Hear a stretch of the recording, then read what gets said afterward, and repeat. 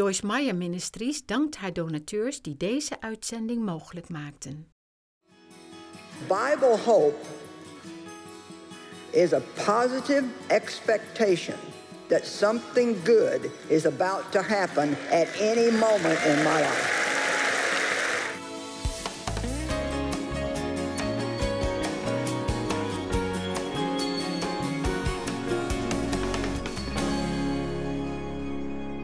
I call this, if it's broken, God can fix it.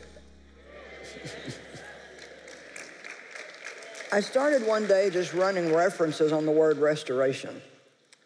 And, you know, the, to restore something means to make it new again, or even to make it better than new again.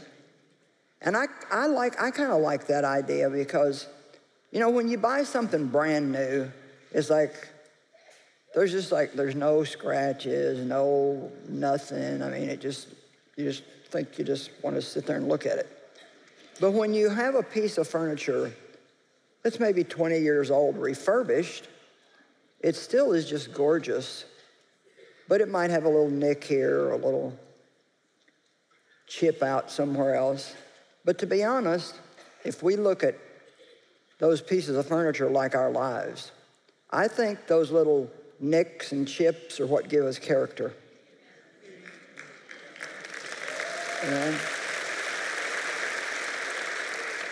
If it's a piece of furniture, it actually makes it a little more interesting. Kind of wonder what all it went through in its life to get to that position. I think that we learn from every one of our mistakes. Every single mistake that we make, we learn from it. And that's what gives us character. How many of you believe that you have learned and grown spiritually through the hard things that you've gone through in life? Okay. It also means to get an overhaul. Maybe somebody's here tonight. You don't need a little repair, you need a whole overhaul. means to repair, to fix, to rebuild, or to rehab. But then the article that I was reading said, but the Bible definition, the, what the Bible is trying to convey about restoration is this to receive back more than you lost.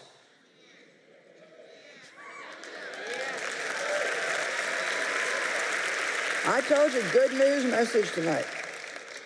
A final state better than your original condition. Wow.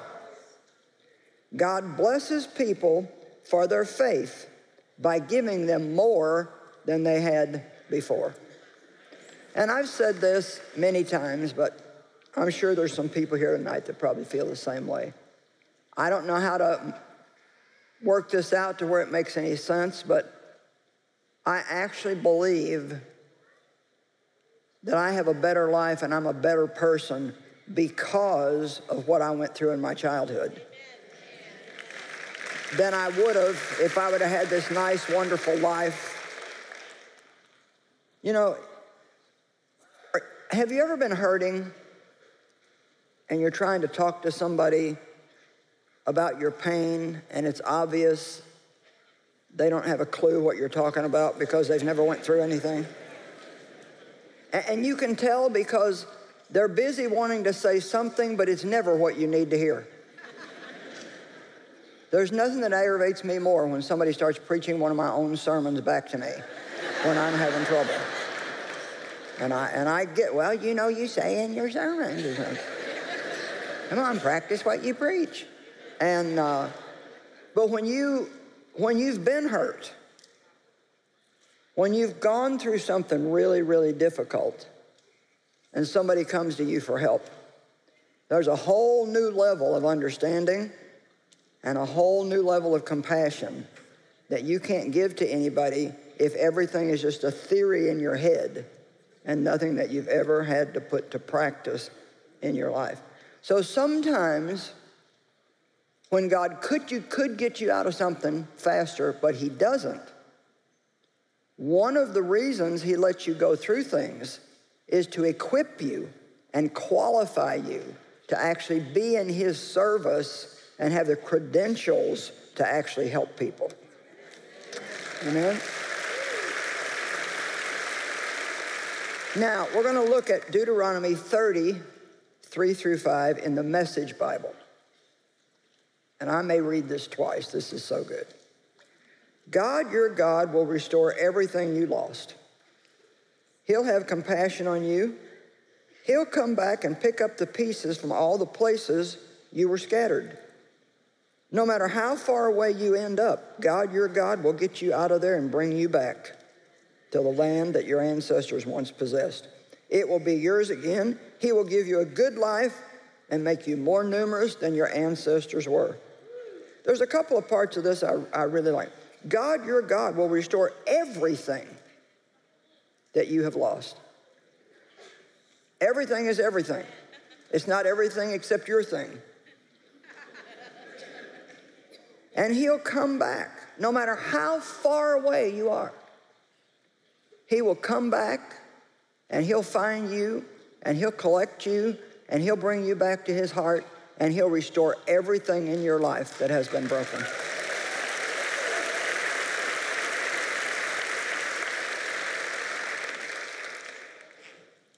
The Bible says that God gives us beauty for ashes, that He heals the brokenhearted. Maybe there's somebody here tonight that you need restoration from a broken heart.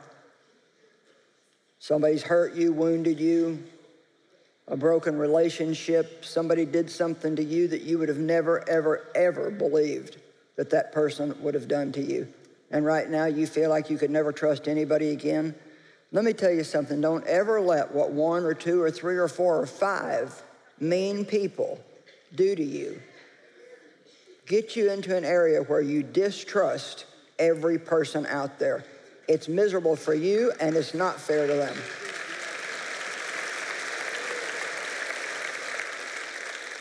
Isaiah 61 7. Boy, when I was going through the healing process with God from my sexual abuse from my father, I hung on to this scripture. Man, I hung on to this. This was one of my favorite go to scriptures when I felt like I couldn't make it one more day. Isaiah 61 7. Instead of your farmer shame, you will have a double portion. And instead of humiliation, your people will, sh- will shout for joy over their portion. Therefore, in their land, they will possess double what they forfeited, and everlasting joy will be theirs. I call it when you hang out with God, you get double for your trouble. Amen.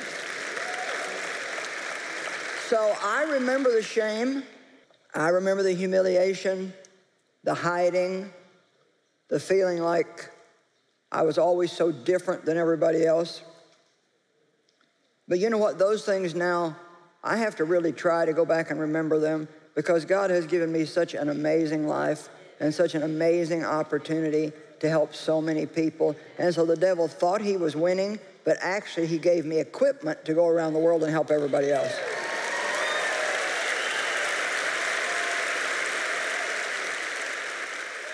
Now let's talk about hope for a minute. Hope is a great motivator. It's amazing if you get out of bed hopeless, you don't want to do anything. But if you have even just a couple of drops of hope, it'll help you keep putting one foot in front of the other. It'll just help you keep going. And the devil does not want us to have hope, he wants us to be hopeless. And one of the things he wants you to think is that you've made mistakes that can never be corrected. You've messed up relationships that can never be corrected. You've done things that can never be forgiven. You've just been sick far too long to ever really get a healing. You've had money problems for so long, you've just given up and said, Well, I guess I'll just always have money problems. But tonight, God wants you to stir hope up in your heart again. And hope, hope is not just, well, I hope. That's not what hope is. Bible hope is a positive expectation that something good is about to happen at any moment in my life.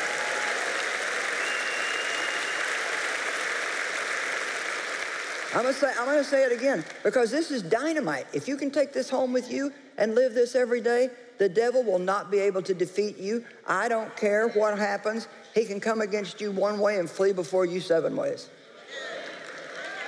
Hope, hope is a positive expectation that something good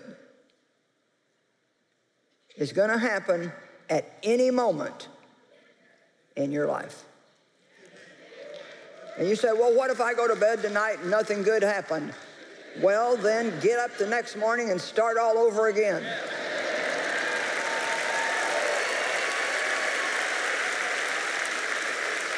Let the devil know that you're not going to shut up until he goes away. So Zechariah 9:12 talks about being prisoners of hope. Well, we know what a prisoner is. A prisoner is somebody that's locked up in a place that they can't get out of. So I would assume then a prisoner of hope is somebody who's locked up with hope and they can't get away from it. And here's what it says Return to the stronghold of security and prosperity, O you prisoners of hope. Today, I am declaring to you that I will restore double your former prosperity to you as the firstborn among the nations. So we've got scripture after scripture after scripture here that says that God will give us double blessings for our farmer trouble, but that's if we do things His way. Amen? You know, there's a lot of things in our lives that we do not understand. And I just kind of got a hold of this a few weeks ago, and I actually shared it a couple weekends ago. I was preaching at Lakewood Church in Houston, and I shared it, but it's too good to pass up here. Um, I don't know why I never noticed it, but I didn't until recently, and I was listening to somebody who called attention to it. You know, there's so many things we don't know. And we get so bothered by the stuff we don't know. We worry about it. We try to figure it out. We ask other people. We try our best to figure out all the things that we don't know. And most of the time, we only get ourselves more confused. In Romans 8 26, it says, We don't even know how to pray as we ought to. We do not know. Everybody say, We do not know. We do not know how to pray as we ought to, so the Holy Spirit comes along and prays through us with utterings and groanings that we don't even know how to hardly get out of our mouth. I guess that's one of those.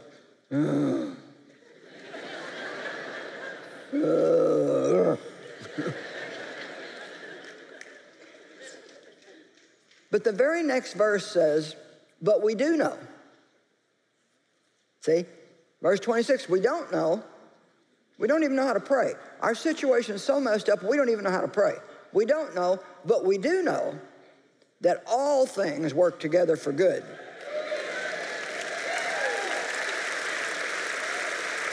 To those who love God and are called according to his purpose. So here's my question for myself and for you. Why don't we talk more about what we do know than what we don't know? I don't know why I'm in the mess I'm in. I don't know why I was abused as a child. I don't know why I'm 62 and have never had a date. I don't know, you know.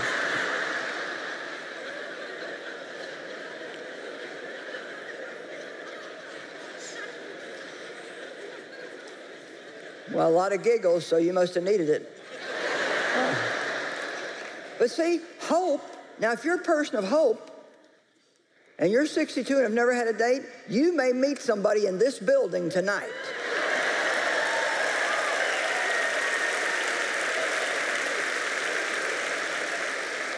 Because there might be a 63 year old man here. Anyway, I better get back on course. Um, we know that God loves us. We know we're going to go to heaven and we're going to live for eternity. We know we're not going to hell. Amen. We know that Jesus is coming back soon and very soon. And we know that all things work out together for good. We don't know, but we do know. So why not focus more on what you do know than what you don't know? And I think you'll have a much better year. So, God restores our hope. He's always ready to give us hope back. A favorite scripture of mine is Romans 15, 13. May the God of hope fill you with all joy and peace in believing through the experience of your faith, that by the power of the Holy Spirit you will abound in hope and overflow with confidence in his promises. He is the God of hope. And nobody can take your hope away from you if you won't give it up. I really like this next one. Some of you will appreciate it more than others, but you'll know who you are the minute I start talking. God promises to restore our youth.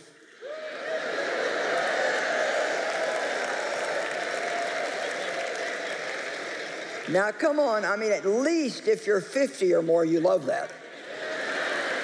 Maybe if you're 40. And if you're 20, you're probably, eh, go on to the next subject. But let me tell you something. You may be 20 now and I may be 75, but someday you're going to be 75. and don't think for a minute that you won't. If the Lord tarries, Every year you get a little older. Every year gravity takes a little more effect. And one of these days you're going to look in the mirror and all the stuff that used to be up here is going to have all gone down there. And that's when you learn to dress to hide things.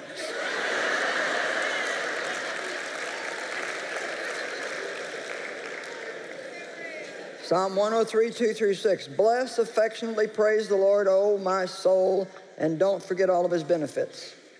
Who forgives your sins and heals all your diseases. Who redeems your life from the pit. Who crowns you lavishly with loving kindness and tender mercy. Who satisfies your years with good things so that your youth is renewed like the soaring eagle. Amen?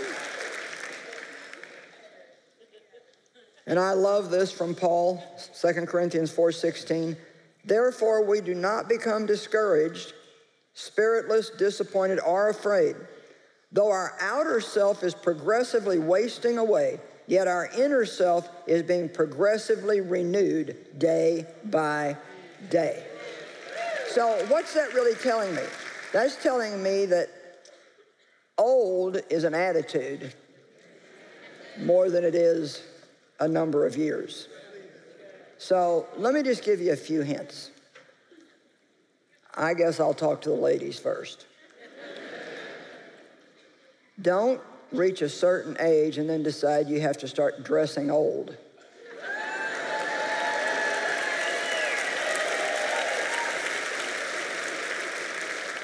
Now, I, you know, I don't think if you're 60, you need to go around trying to dress like you're 12 or 16. But you, I hope I don't get myself in trouble doing this. But you, you can go into a department store. My son did this to me one day. He, he took me shopping and he said, okay, now I want, I, want, I want you to watch this, mother. He said, you can shop in all these areas. You, any of these areas you can shop in. But he said, now I want you to notice what starts to happen here. and you can see it. Everything becomes a little more boxy. It becomes a little more, I don't know, just older looking. He said, Mother, you may never shop in that part of the store. You may only shop over here. See, they all think they're trying real hard to hide how old I am, but I tell everybody anyway, so. Don't talk old. I'm old. Everything is falling apart. Everything hurts. I can't do that now, I'm too old. Keep a sense of adventure. The older you get, the more determined you ought to be to try something new every once in a while. Come on, just get out of the box and do something new. I don't even care if you drive to work a different route. At least, at least it'll be something new, you know? If you, if you wear black socks every day of your life, well, get, try some brown ones. Do, do something. do something to scare yourself. How many of you know that old is a mindset? You just, you keep a young mind, you keep a young soul, and, and actually your body will perform better if you do that. The older you think, the older you're gonna look, and the more you talk about it, the more other people are gonna agree with you. so God restores our youth. I like that. I really like that. Father, if there's anybody here who needs their youth restored, especially to have a youthful attitude. If they've gotten a sour attitude, an old attitude, a give up attitude, I pray that you would give them a brand new, fresh attitude tonight and they would be young on the inside. In Jesus' name, amen. Okay.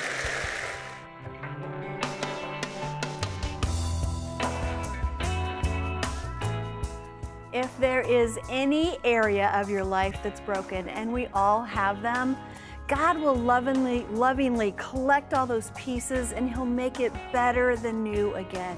That's what He wants to do for each and every one of us, is what He wants to do for you.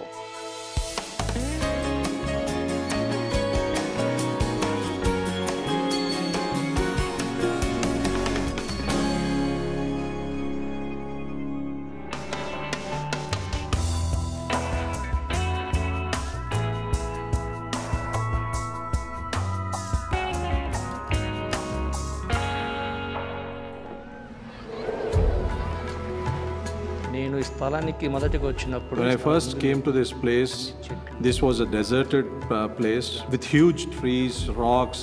It was like a den for most of the people. India is een heel arm land. In veel gebieden is er geen toegang tot drinkwater. Veel van deze plaatsen zijn onbewoond. When we dug the borewell, uh, then people g- got the news. They knew that uh, there is now water available in the area. That's how people started coming and started living in this area. Al meer dan 30 jaar zijn wij van Hand of Hope, het christelijk zendingwerk van Joyce Meyer Ministries, actief in India. Tot op heden hebben we honderden waterbronnen en kerken mogen bouwen. There are many wells in this village, about three or four, but each well is dedicated to one community or one caste or one religion. One other religion is not allowed to go there to fetch the water. But we drilled a well outside the compound of the church. So it is open for 24 hours. People can get water anytime they want. కొంచెం bore వేయకముందు There were about uh, 30 to 40 people attending the Sunday worship service prior to having digging the borewell. We have now around uh, over 500 people attending the Sunday worship service. So we plant a seed. We get an opportunity to come align ourselves with the pastor. He gets to build a community of faith, find new leaders, and go plant other churches, which is really the great story. And as our partners uh, and their faithful giving, uh, we can see that, which is really the great story, isn't it?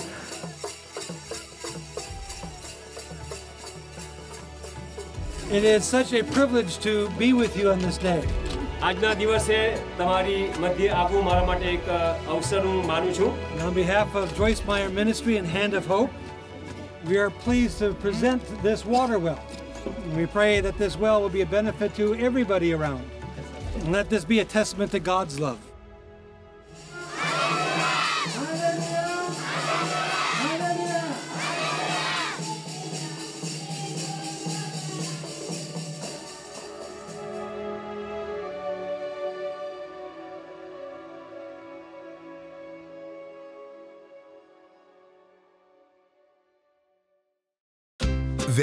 Huishouden, vrije tijd en nog veel meer. Het moederschap is een fulltime uitdaging.